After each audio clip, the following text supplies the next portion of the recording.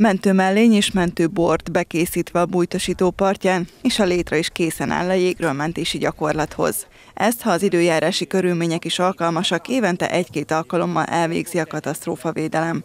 A bajba jutottat ezúttal egy jól záró búvárruhás tűzoltó imitálja, bajtársa pedig óvatosan és szakszerűen kezdi meg a mentését. A jelenlegi állapotok pont valós helyzetet tudnak teremteni, tehát ez azért még nem az a biztonságos amire nyugodtan rámerészkedhetünk, de nekünk pont ez a célunk, hogy ugye valós feltételezett eseményt tudjunk szimulálni.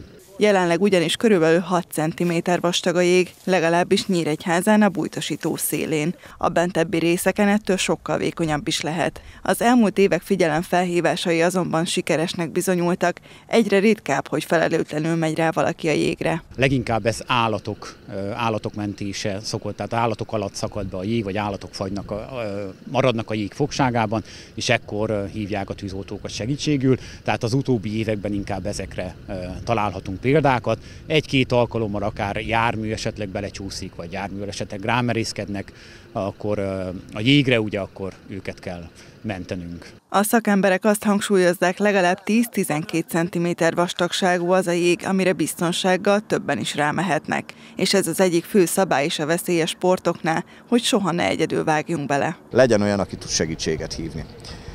A, az egyik legfontosabb ugye ez. A második az, hogy ne menjünk rá olyan helyre, ahol, ahol olyan e, dolgok lehetnek a víz alatt, rothadó, bomló, nátorzsa, építmény, valami, ami vízbefolyás, csővezeték. Tehát ilyen helyen se, tehát még akkor sem menjünk rá a jégre, amikor biztonságos a jég.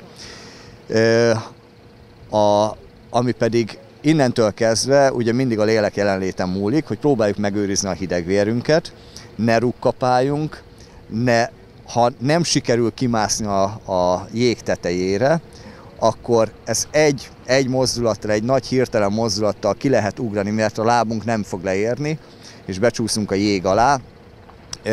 Ha akkor nem tudunk kimenni, akkor próbáljunk minél kisebb felületet hagyni a víznek, hogy hűtse a testünket.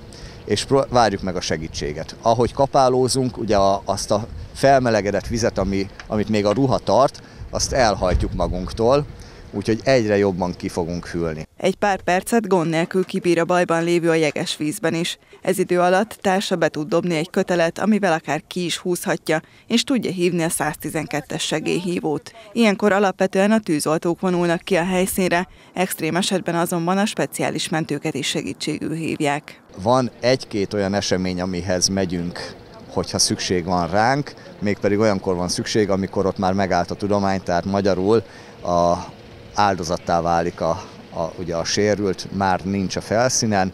Ez lehet akár ember is, de, de a legutóbbi időben általában kutyát kerestünk, aki becsúszott, beszakadt és eltűnt a jég alatt. Nyíregyházán a jégre lépni továbbra is veszélyes. A speciális mentők a gyakorlatot szerdán tarcalon folytatják.